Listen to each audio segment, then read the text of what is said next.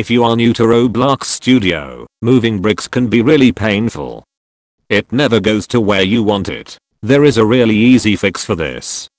Go to model tab and then snap to grid. You can turn it off completely. It'll give you a much smoother brick movement. Like this. It's a lot smoother now.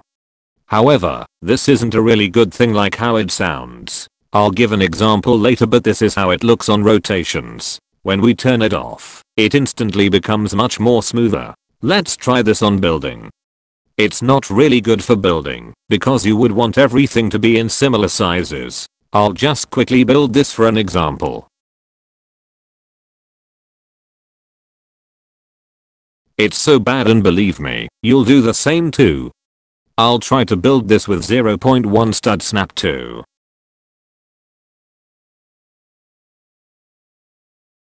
You can easily recognize the difference. I don't suggest turning this off for building. Instead, just make the value smaller, depending on your style. That was it for this video. Hope you understood. See you in another one.